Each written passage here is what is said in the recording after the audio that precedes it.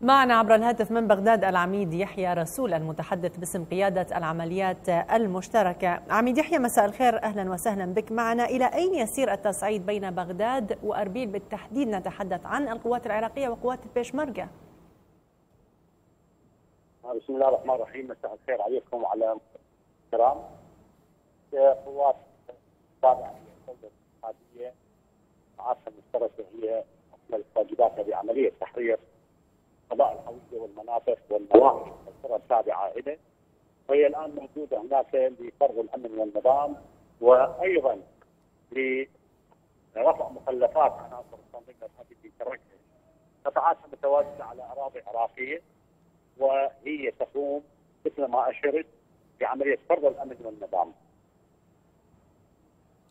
طيب سيادة العميد آه، إذا سمحت ممكن إعادة ما ذكرته حضرتك كون أن الصوت كان غير واضح من المصدر.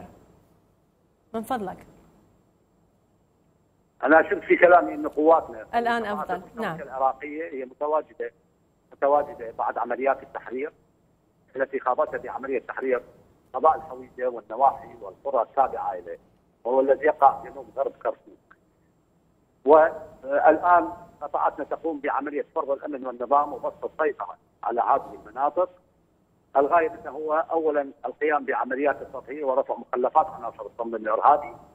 وثانيا مسك الأرض بقوة وعدم السماح مرة ثانية بعودة الإرهابيين وإن شاء الله نخطط لعودة العوائل التي نزحت بالقوة والإكراه والإجبار من قبل عناصر التنظيم الإرهابي. قطاعاتنا تقوم بواجبها ضمن الخطة التي وضعته على الأراضي العراقية التابعه للحكومه الاتحادية العراقية. إذا يمكن القول هذا ما سيحدث بعد انتهاء مهلة انسحاب البيشمركة من كركوك أم ماذا عميد يحيى؟ أنا شوف في كلامي نحن نتواجد على الأراضي العراقية بنواجه قوات مشتركة عراقية أن نحمي الشعب العراقي كل أطيافه ومسمياته وقومياته ودياناته ومذاهبه. أيضا كنا يعني كان لدينا تنسيق مع قوات البيشمركه خلال عملية تحرير مدينة الموصل وفي العفر وحتى في الحويجة، أنا اتفاجئ بهذا التهويل الكبير لوجود قطاعات الدولة الاتحادية وهي تحرر وتطهر المناطق وتفرض وتبسط الأمن والنظام. طيب يعني حضرتك عميد يحيى تنفي أن هناك اشتباكات بين القوات الكردية والقوات العراقية؟ أو مستقبلا يمكن أن تحدث أيضا؟ يعني أولا نحن لا نتمنى أن تكون هناك اشتباكات بيننا وبين قوات الجيش نعم. وكذلك قطاعاتنا متواجدة منذ فترة في مدينة الموس والأقضية والنواحي والقرى في تل أعفر وأيضا في قضاء الحويجة. ولم تسجل لدينا أي اشتباكات مع قوات الجيش نحن مثل ما أشرت نعمل ضمن توجيهات السيد القائد العام للقوات المسلحه الدكتور حيدر العبادي المحترم قوات الدولة الاتحادية القطاعات المشتركة العراقية عملنا هو أن نحافظ على الشعب العراقي أن نبسط الأمن والنظام وأن لا نسمح بعودة الإرهابيين مرة ثانية باتجاه المناطق التي تم تحريرها. طيب هناك من يتساءل الحشود حول كركوك ما الهدف منها عميد يحيى من قبل قوات البيشمركة؟ يعني أعتقد يعني هناك تخوف من قوات البيشمركه بشكل كبير.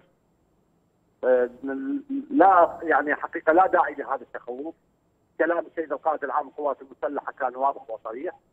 وأعتقد إنه هذه المسائل إن شاء الله ستحل في الحوار مع آه، يعني حكومة إقليم كردستان.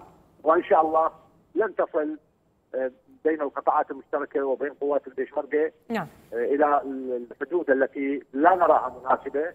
وإن شاء الله سينزع هذا الفتيل وما يهمنا هو أن نحافظ مثل ما اشرت على الأراضي العراقية وعلى الشعب العراقي. الشعب الكردي شعبنا أهلنا ناسنا. ونحن لدينا آه، حقيقة تعامل مع آه، يعني الشعب الكردي منذ فترة طويلة. ومن واجبنا أن نحمي أيضا حتى الشعب الكردي كقطاعات مشتركة عراقية. شكرا جزيلا لك. حدثنا عبر الهاتف من بغداد العميد يحيى رسول المتحدث باسم قيادة العمليات المشتركة.